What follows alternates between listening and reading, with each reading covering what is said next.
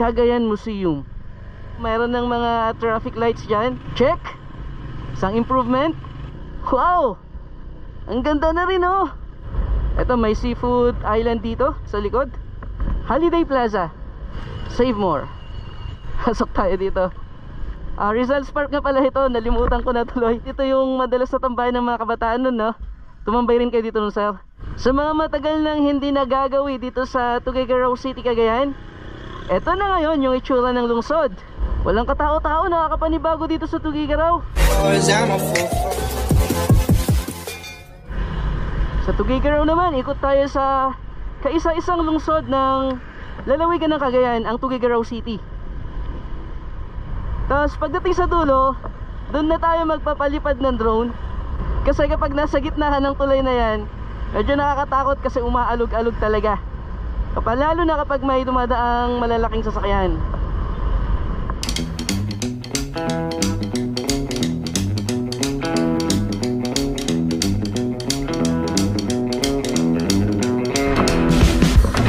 Wow! Medyo paunahin natin to para ma-enjoy natin tong view. Ang ganda! Sa ngayon, medyo mataas ang level ng Cagayan River no? kasi kamakailan lang 3 or 4 days ago dumaan si Bagyong Maring at yung ilang bahagi ng northern Cagayan lalo na sa may bandang Alcala at Baggao ay sinalanta ng bagyo. Nakaranas sila ng pagbaha nung mga nakaraang araw. Diba? Napakahaba. Ah, yan yung sa ngayon ay pumapangalawa sa San Juanico Bridge na pinakamahabang tulay na tumawid o nag-cross sa body of water. Pero kapag formal lang binuksan at pinadaanan sa publiko yung ginagawang CCLEX sa Visayas or yung Cordova Cebu Interlink, yun na yung kikilalanin o hihiranging pinakamahabang tulay sa Pilipinas na tumawid o nag-cross sa body of water. Natatakot ako magpalipad sa gitna ng tulay kaya dito ako sa safe sa dulo.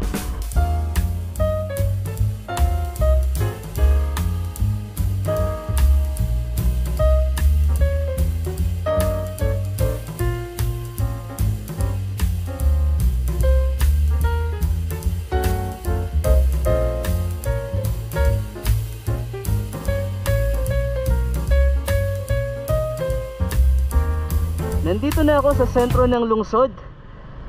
Ang Tuguegarao City. Ah, ito yung SM Center ng Tuguegarao. Maliit lang. Hindi na ako para papasok pa dyan kasi sayang lang ang oras natin. Ipapakita ko lang yung mga konting pagbabago dito sa lungsod na ito. Ito, unang-una, ito, mayroon ng mga traffic lights dyan. Check. Isang improvement. Kasi dati nung nag-aaral pa ako ng college sa Cagayan State University, wala pa yung mga uh, traffic lights na yan. Okay. Ikot lang tayo sa sentro ng lungsod. Tapos, diretso na ako ng Peña Blanca Cagayan sa Calao Cave. Sana bukas sila, no? Sa mga matagal nang hindi nagagawi dito sa Tuguegarao City, Cagayan, eto na ngayon yung itsura ng lungsod. Oh! Sa ngayon may mga iilan-ilang mga taong nakikitang gumagala dito dahil syempre nasa hindi ko alam kung GCQ ba ang Tuguegarao or MECQ dahil sa mga umiiral na mga protocols, health protocols kaya kapansin-pansin na iilan pa lang yung mga tao rito. At mapalad tayo dahil isa tayo sa mga taong nandito ngayon. Oh ito traffic na. Dito madalas traffic dati pero mukhang hanggang ngayon naman traffic pa rin Brad. Matagal na yung mga traffic lights na yan sir. Matagal na yung mga traffic lights na yan.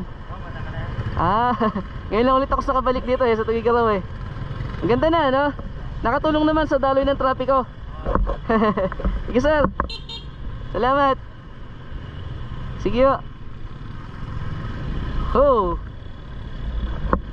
ah dapat dun tayo umikot para nakita yung Jollibee doon.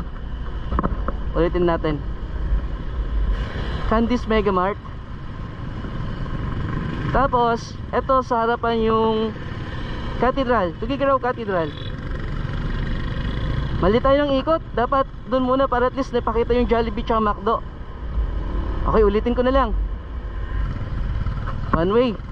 Ah, teka, ulitin natin para mapasok natin yan. Madalas din ako maglakad-lakad sa mga kalye dito noon. No left turn, no?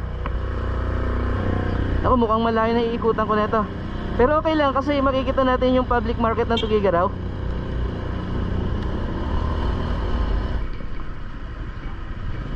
Pasensya na ha, may umuwing kamote. Sorry, sorry, sorry. Yan. O, ito na. Tama, tama tong ikot natin. Makikita ninyo yung public market ng Tugigaraw City. Ito, itong green building na yan. Tama ba? Public market na ba yan? Pati yung green na yan? Ito, FL Vargas College. Isa sa mga pribadong kolehiyo dito sa lungsod. Gonzaga Street. Nakakamiss ding maglakad-lakad sa lugar na to, no? Marami tayong mga memories dito nung kolehiyo tayo. Na mananatiling alaala na lang. Ito, green. Ito ang Save More Tugigaraw.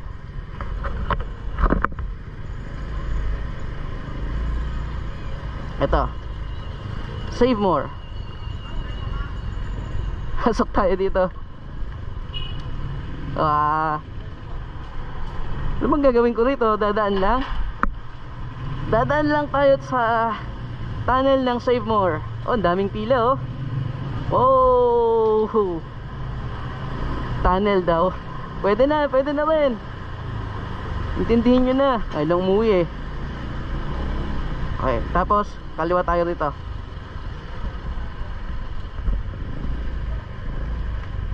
Oo.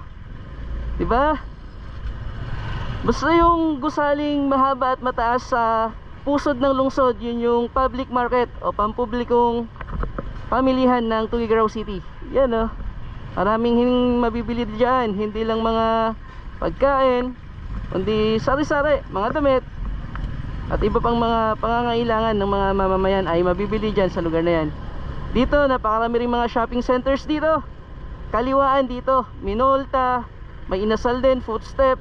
Halos lahat ng mga ano dyan, mga establishmento nung araw ay napasok ko na. Kami sa Tugigaraw. Yung mga traffic lights na yan nakatulong sa mas organisadong daloy ng trapiko. Kasi noon, nung wala pa yung mga yan, kawawa yung mga enforcer dati dyan. Hirap nilang pagbawalan yung mga tulad nating matitigas ang ulong motorista. Paminsan-minsan lang naman. Okay na, go! Tapos, diretso na tayo ng Peña Blanca, Cagayan.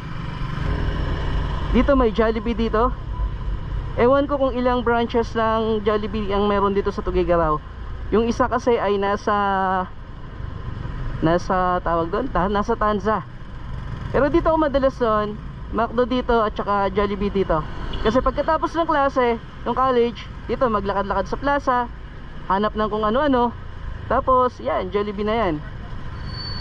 Doon tayo para ipakita ko sa inyo yung Cathedral, Tugigaraw Cathedral, Centro 1, Bagong Bayan.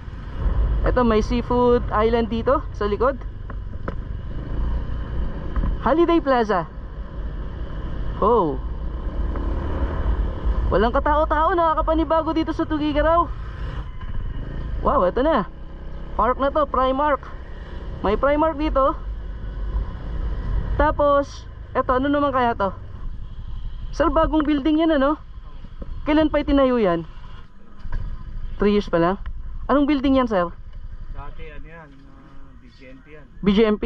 Oo, ngayon ano na po? Ito ano nang tawag dito sa lugar na to dati, sir? Rizal Park. Ito yung madalas na tambayan ng mga kabataan nun, no? Tumambay rin kayo dito nun, sir? Hindi masyado. Oo. Eh, dito rin, nakapag first date ka rin dito nun. Sige, sir, salamat ha. Tignan ko lang yon museum pala yon Salamat, sir. dito, ah, Rizal's Park nga pala ito. Nalimutan ko na tuloy. Ayan yung estatwa ni Jose Rizal, oh. Cagayan Museum. Sir, naimbag daw, sir. Sir, mabalinti sumakditan.